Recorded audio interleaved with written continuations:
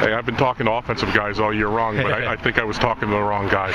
T- tell me about your defense today and what you needed to do to, to be successful. Uh, our D's had a chip on our shoulder ever since the first three games when we let up a bunch of goals, like coming out, and we've just been waiting for the days to prove it. And I feel like we've stepped it up in the playoffs. And Dane and Natoli both down at close, and then we moved Sandro up at pole, and that switch has been working with us. And we're working behind D. Willis, who's he's amazing. Like I, Yeah. he's been the best goalie I've ever seen. It, seems like you guys are playing a foot over your heads because you know behind you he's unbeatable. Yeah, yeah. It's like we can get the pressure, we can go out and we can get in people's gloves to get the takeaways.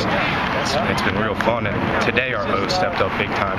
Our whole team had a lapse in Kingsway the first quarter, and we weren't having that again. Yesterday in practice, it was just focus and came out and showed. Now, it. coach was talking about five more feet, 20 more feet. You got 48 more feet to go. Uh, We're still you, going. You ready for the climb? Yeah, we're ready. We're really ready. Coming out, we gotta we gotta have a good practice Monday. Going on, I don't know when the game is. Whenever it is, we're gonna be ready to. Tell me about the bus ride up. Uh, who, who was sitting in the seat with you? Um, I was actually sharing a seat with Rob Kuhn, and he's one of our freshmen we pulled up, and Yeah. not much words, just focus on the bus.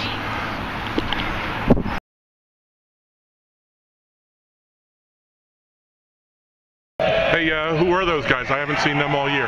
Well, you know, we've been uh, we've been you know we started out pretty low in the valley. You know, we, I've been telling the kids all day. You know, we started low in the valley. We were 0 and 3. You know, like 130 something on LaxPower, and I talked to them about you know climbing a mountain, and that we had 48 more feet to reach the summit, which is the state championship, and that's kind of why we kept shouting out. You know, 10 more feet, 12 more feet. You know, and then 36 seconds later we said six more inches. Should have said three more exits because uh, the bus the bus uh, breaks down. One of your two buses on the way here. That didn't even affect you guys even a little bit. No, we didn't even think about it. We just got off the bus and got on the other one and kept going. So, uh, you know, I, I kind of figured that it was going to be a good day just because of that little element. Now the offense was spectacular today, but talk about your defense because they were even better. The defense was outstanding. The guys were in their gloves. They were up. They were ready to play. They were keeping them where they wanted to be. We knew that we could control them a little bit, um, and we were able to do that.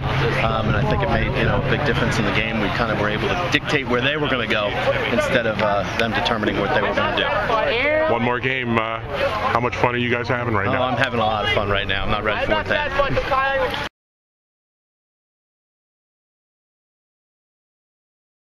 Obviously, you don't don't expect this out of this game. Uh, what did you know about Moorestown coming in, and uh, what were you concerned about? They're a good team. We knew that coming in. Uh, we were we were prepared for what they had personnel wise. We didn't match their energy today. Um, you know, that's we knew there was going to be a battle. We knew it was the toughest semifinal game through the state. Um, you know, it's the draw. It's the way it works. It's the way the seeding works, and you know you got to play that game. And uh, we we knew they were going to be a tough team. We didn't overlook them one second. Um, you know, unfortunately, they, they were the better team today. Did their def- defense do anything special that, that defeated No, what we, you? we played too young on the offensive half today. Uh, we played like we had juniors out there instead of guys that are more veteran and more experienced. We turned the ball over far too many times. We didn't get quality possessions. You know, defensively, we held our own for you know as long as we could. We just gave way too many offensive possessions. They worked the clock. They played smart. They played like a more veteran team than we did.